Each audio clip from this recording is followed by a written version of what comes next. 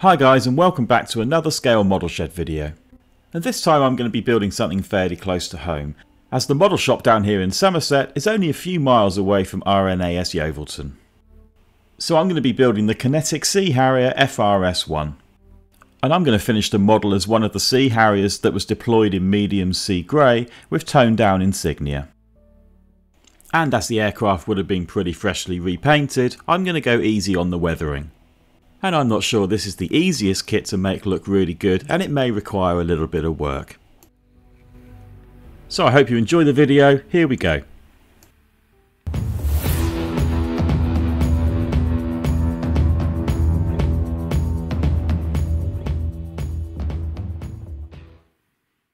So starting off with the cockpit and a nice pair of sprue cutters keeps clean up to a minimum. First I prime all the cockpit parts in black before using masking fluid to mask up the gauges.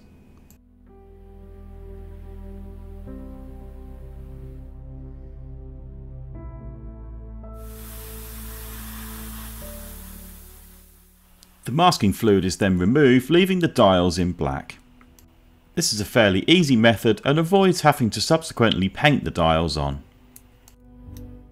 I sharpen up a cocktail stick and cut a slice down it so it holds more paint.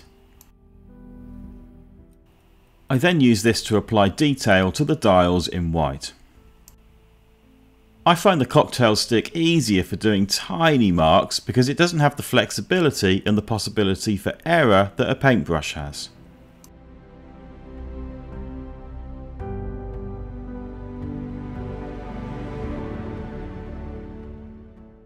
And once that's done detail is picked out using a black panel line wash.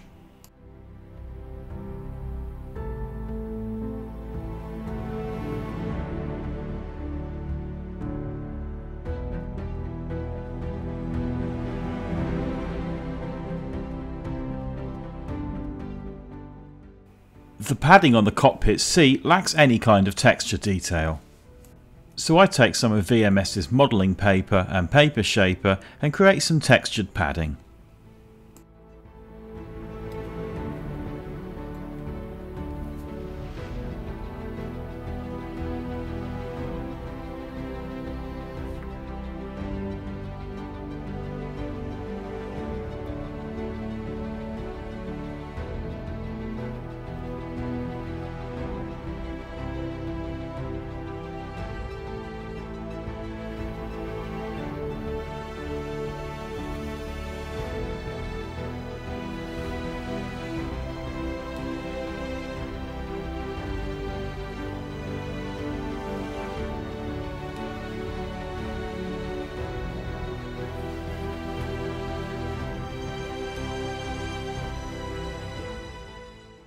The seat frame is first primed in black and then after some detail is applied it's dry brushed using a silver.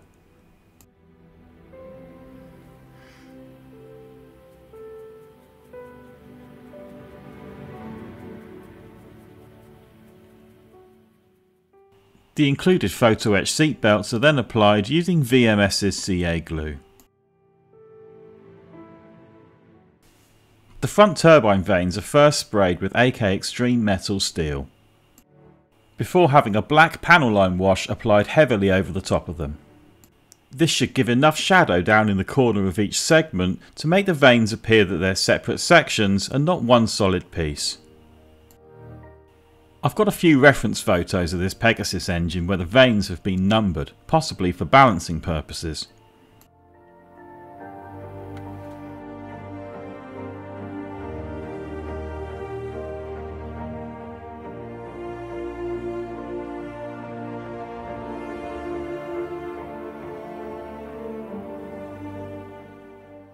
I spray the inside of the fuselage with the same dark ghost grey I used to paint the cockpit. I carefully remove any primer from the mating surfaces to be glued. Before gluing into position the front intakes and cockpit assembly.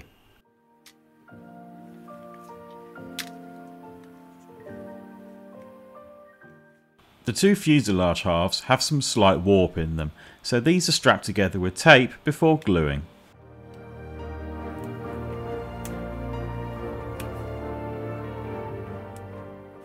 And it's a good idea to check at this point that the nose cone fits correctly.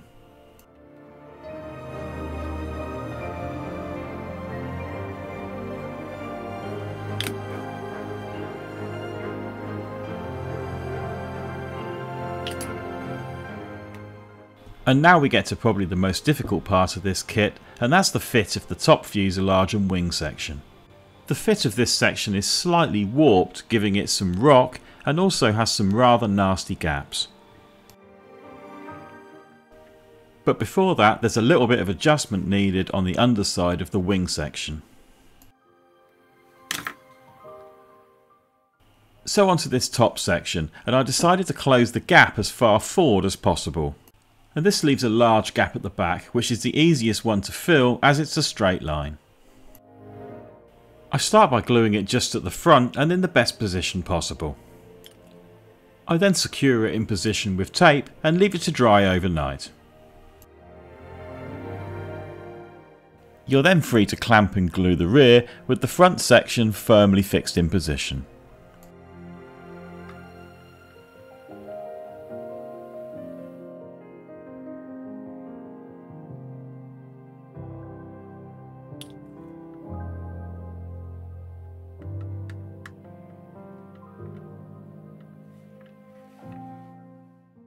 And now to fill that gap at the back, and I start by taking some 1mm round styrene rod.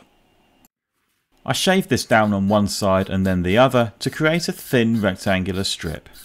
And I stop when it's just the right thickness to hold itself firmly in the gap.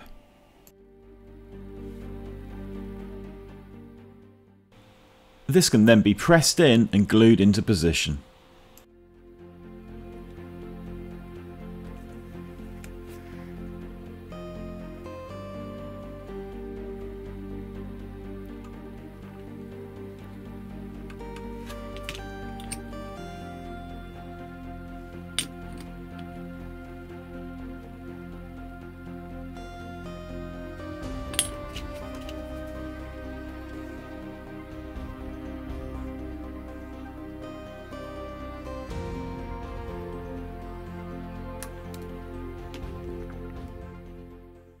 There's an incorrect location pin on the front air intakes that needs to be removed.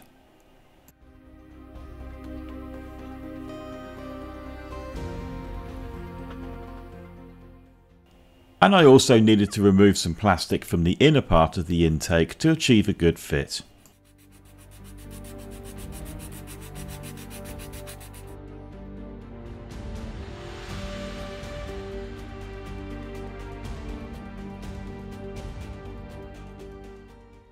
Once they're glued into position, two things become pretty clear. Firstly, the cowling should seamlessly meet the fuselage.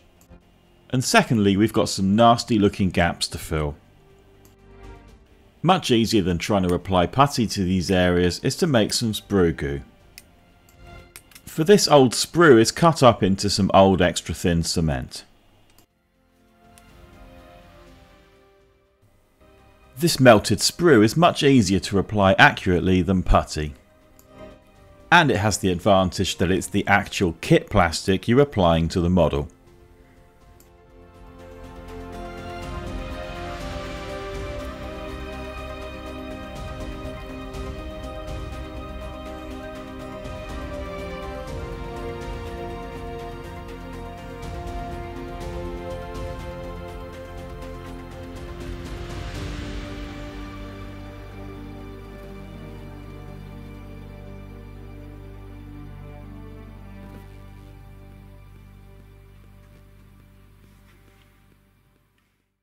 If the sprue goo needs some help to level out, some extra thin cement can always be applied.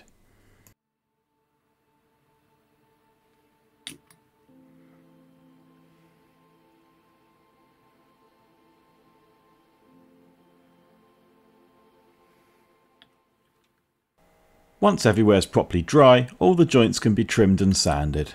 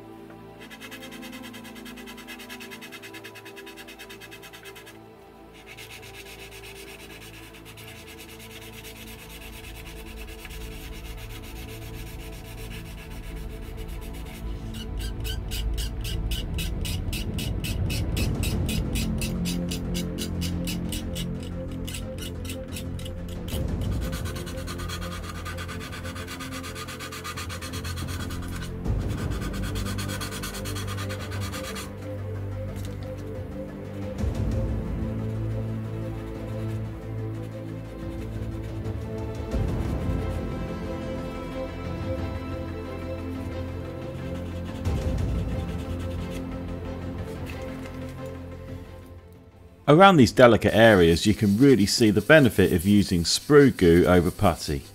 And these fillets on the front of the air intakes don't even require any sanding.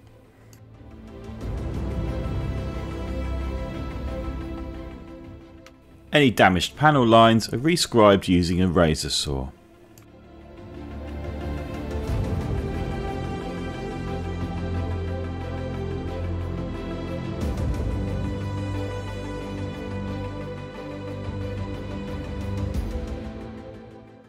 And any rivet detail is reapplied using a Rosie riveter.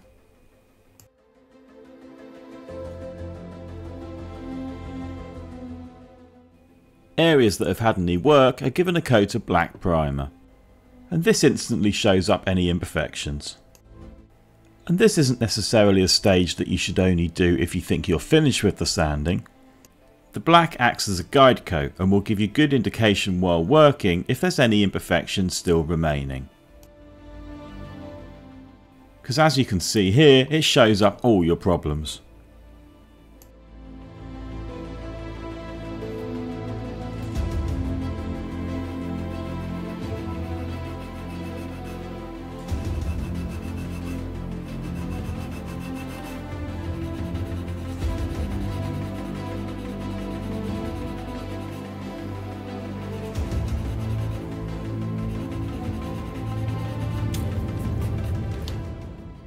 When you're gluing a section where the join is a panel line, it's a good idea to apply extra thin glue and then leave it for a few seconds before introducing the part.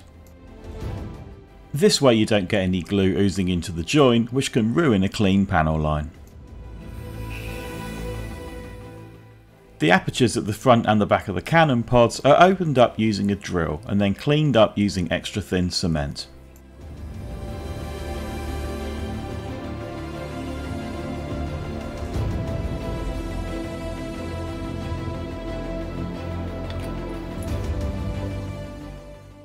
I decided to mask the inside of the canopy using masking fluid. This avoids any dusty overspray which is difficult to clean out. And the trick here is to keep the masking fluid nice and thick so it peels out in one piece. The front part of the canopy is then glued on using VMS Transper-Fix.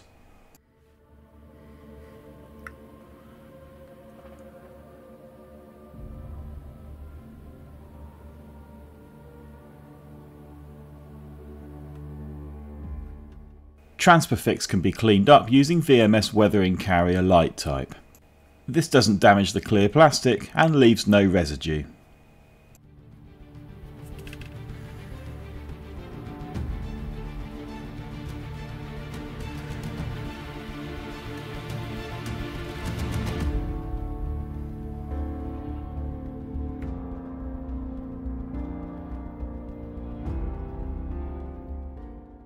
I got all the way to this point before realising I forgot to put the lens in the front nose section.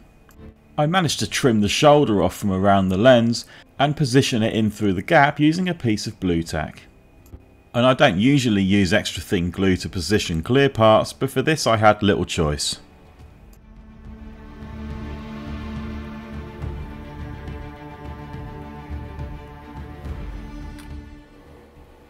I then primed the model in a very pale grey, consisting of Mr Surfacer white with the tiniest drop of black. At this point I didn't have much of a plan for the paint, but I did want to keep it fairly clean as this aircraft would have been pretty recently repainted.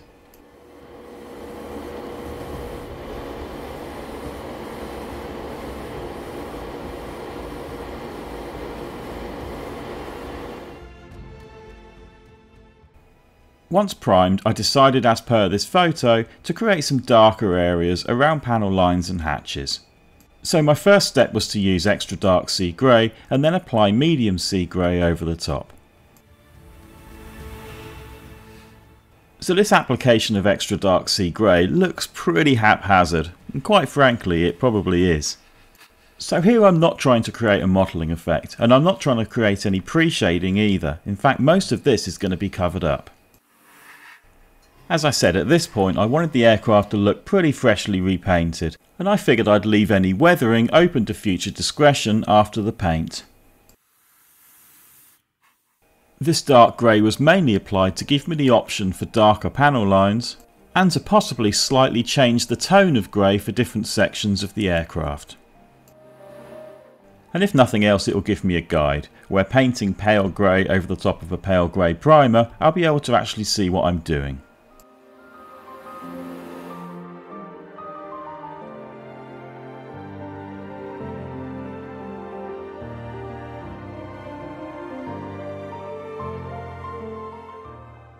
And now I use masking fluid to create the patches of darker grey.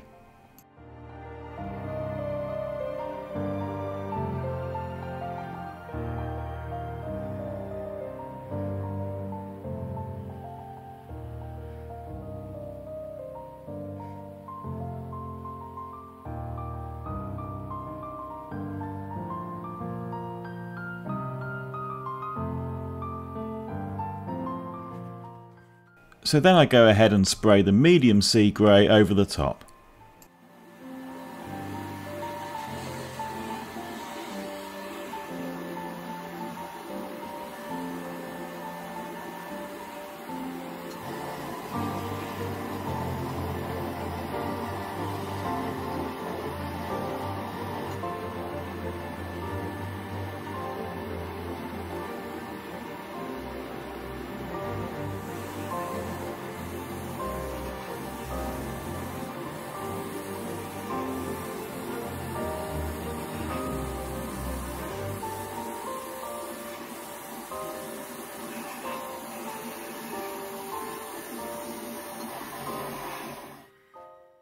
After that the masking fluid's removed.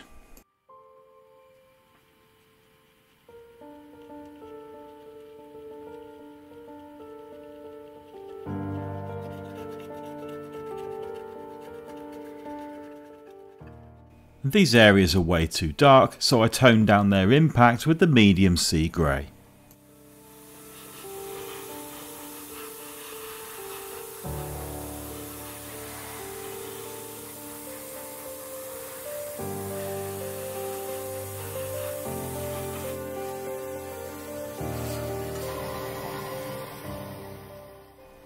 I then decide to just darken down the top wing surfaces and the centre of the fuselage by mottling a very thin down extra dark sea grey.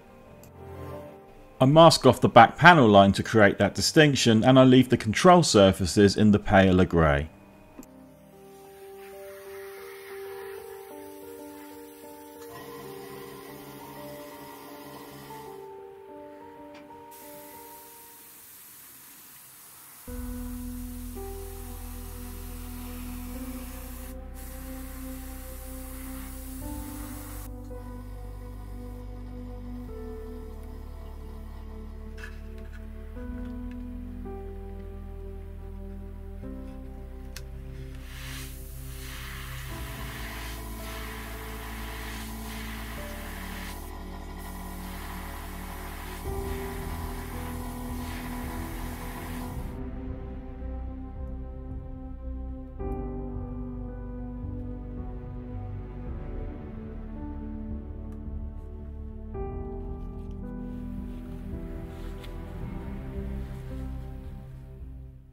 So with the paintwork finished, I give the whole model a coat of gloss varnish.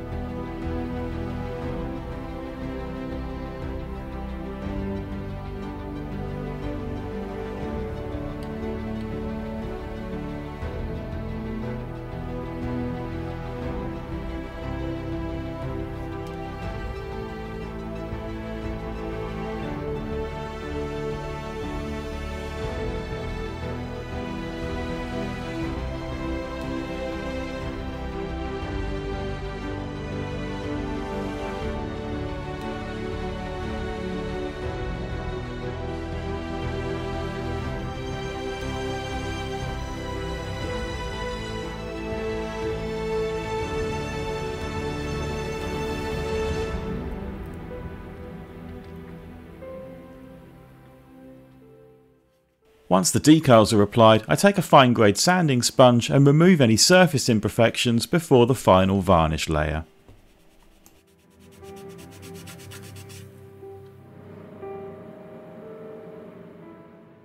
The whole model is then given a coat of Mr Colour semi-gloss varnish.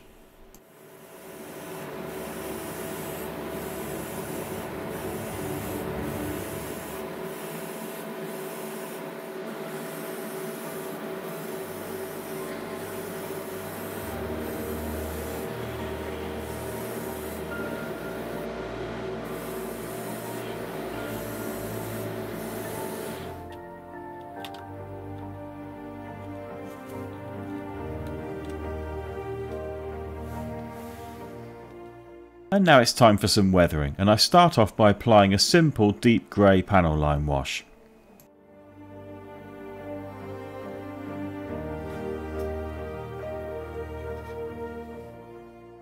And once dry, this panel line wash is wiped off using a soft cloth. And this cloth is very lightly moistened with enamel thinners so as not to wipe the wash out of the panel lines.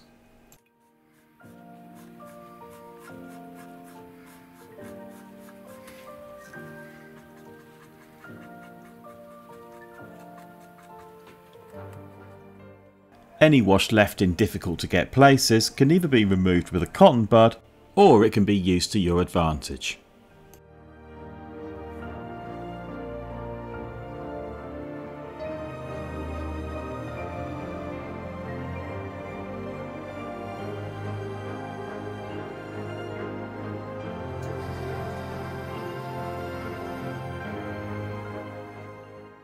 Oil paints are a great tool for changing the tone of certain panels.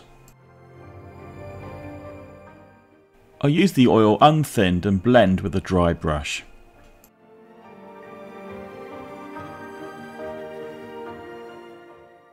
Here I'm using white to lighten up one individual panel.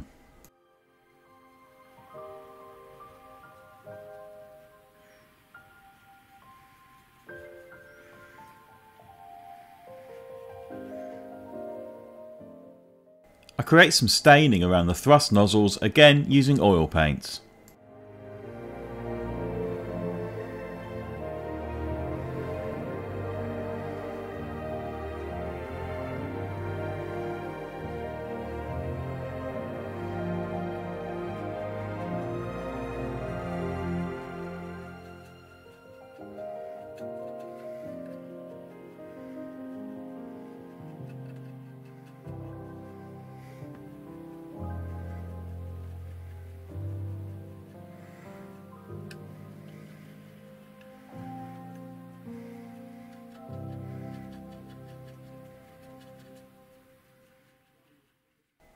I decided to add a slight look of distress to the top surface of the fuselage and engine covers.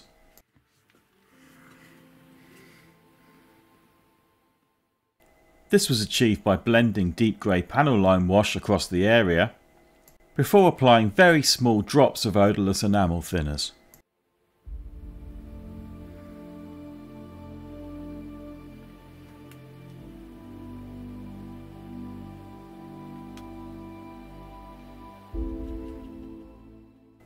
Once dry this was then blended down with a dry brush until it achieved the effect I wanted.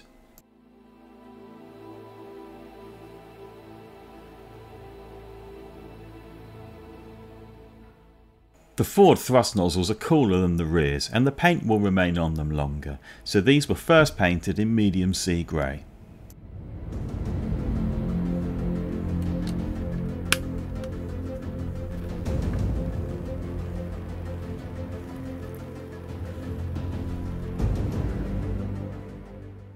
The rears were first primed in black and then sprayed with a very thin down dark earth which gave them a bronzy tint.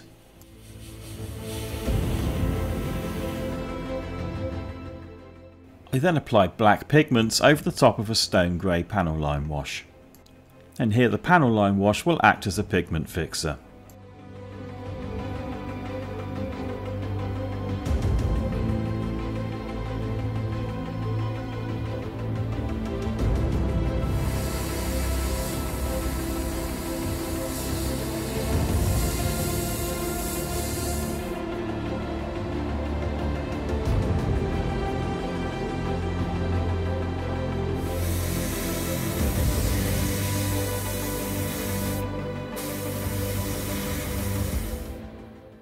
After painting the deflector shields with first steel followed by jet exhaust, they were given the same treatment as the rear thrust nozzles.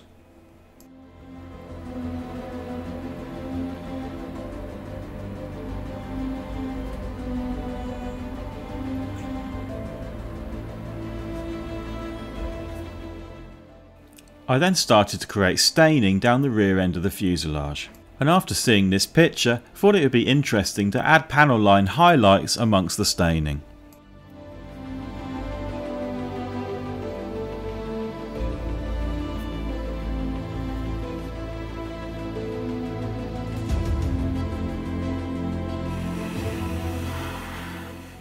I'm spraying NATO black as a base for the exhaust staining.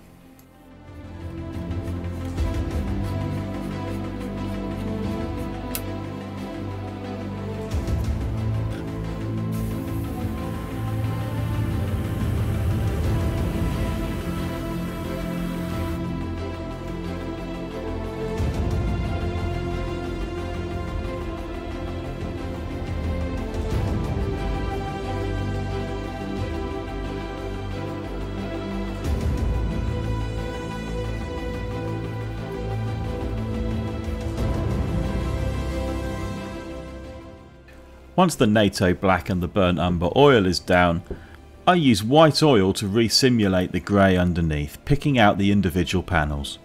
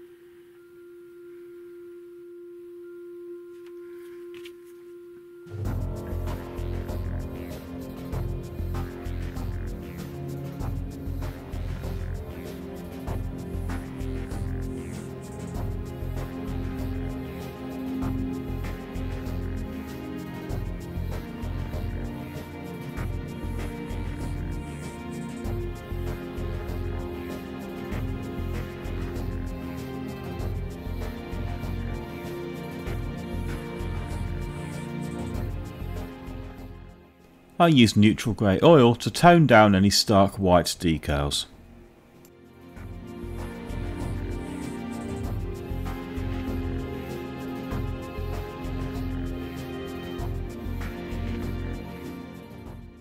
The landing gear is painted in light blue before being given a black panel line wash.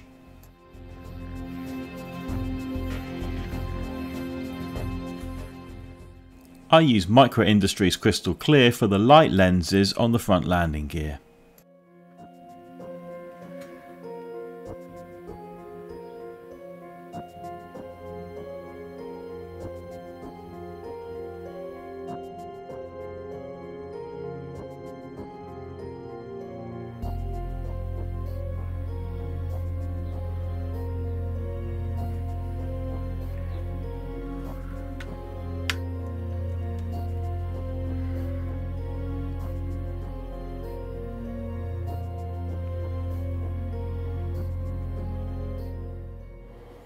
Having seen this in a few photos, I made one drop tank medium sea grey and one drop tank extra dark sea grey.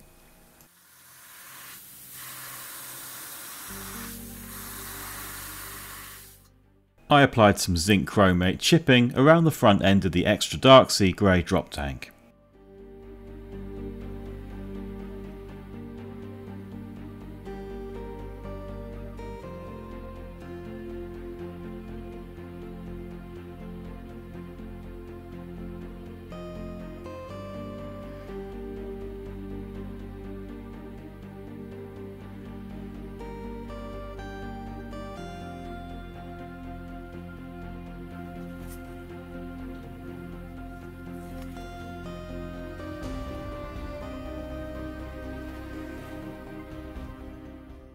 Mixed stone grey for black panel line wash gives a nice effect when speckled over pale grey.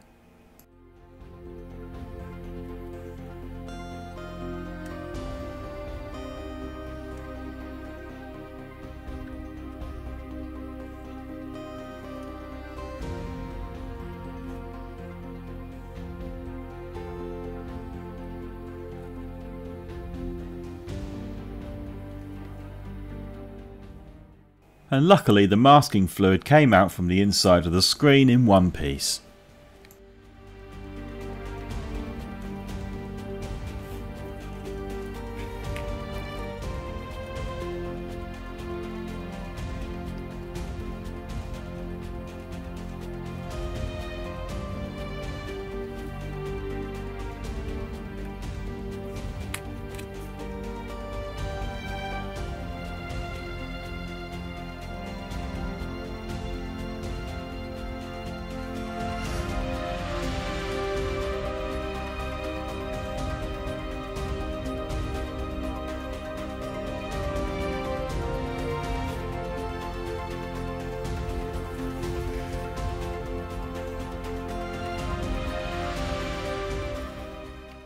So that's pretty much it for this one guys and I have to say I did find this model a little bit of a challenge. Visually I wanted it to look as realistic as possible but striking that balance between not over weathering but still having the model look interesting was tricky. But I hope you gained some tips and techniques that you can use on your own models. But still it's done and I'm looking forward to starting a new kit. And in that next video I'm building a small 172nd aircraft. So if you haven't already, it'd be great if you subscribe to the channel. To purchase from me online, you can check out scalemodelshed.co.uk. And if you're down in the West Country, you're more than welcome to come in and visit the shop. So that's it for this Kinetic Sea Harrier. Happy modelling everyone, and see you next time.